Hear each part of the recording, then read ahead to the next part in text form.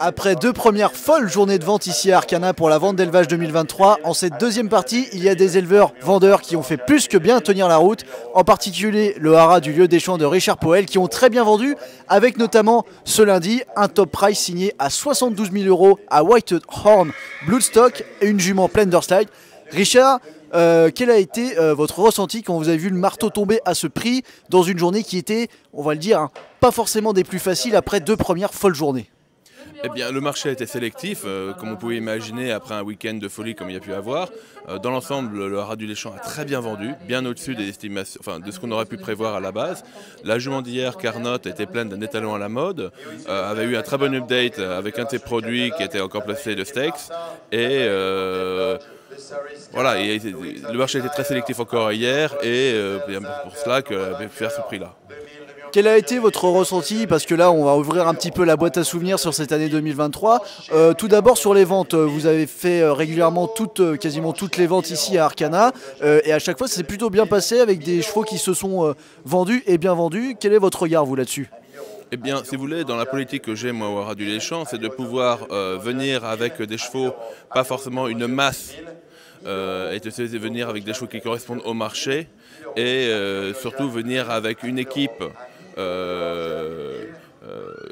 qui est dédié à ce qu'on fait en général au Radio des Champs et euh, qu'on toujours les mêmes personnes autour des chevaux et à qui je peux travailler en confiance. Donc cette décision un petit peu de réduire un petit peu par nombre à chaque vente, mais venir essayer de toutes les ventes avec un lot qui correspond à ce que les gens recherchent, c'est un petit peu la nouvelle politique qu'on a au Radio des Champs et que je pense qu'à l'avenir est sur une bonne voie. Une politique qui porte ses fruits.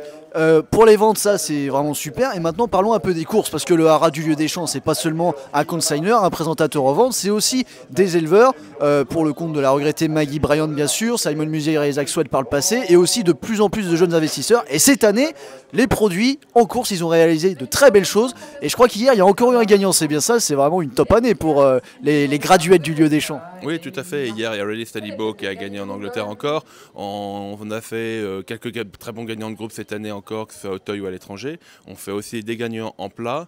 depuis cette année, on rachète énormément de très bonnes juments de plat. Euh, on a fait deux achats à Newmarket, euh, une pleine de Nathaniel et une autre pleine de Blue Point. Euh, là encore, samedi, j'ai acheté une jument pleine de Wooten Bassett, une autre pleine de See the Moon. Donc, si vous voulez, on, on, essaie de faire les choses bien, on essaye de faire les choses avec un état d'esprit concret et euh, qu'on puisse, si vous voulez, faire perdurer le radio des champs dans le paysage. Et euh, qu'est-ce qu'on peut vous souhaiter à quelques jours de la nouvelle année?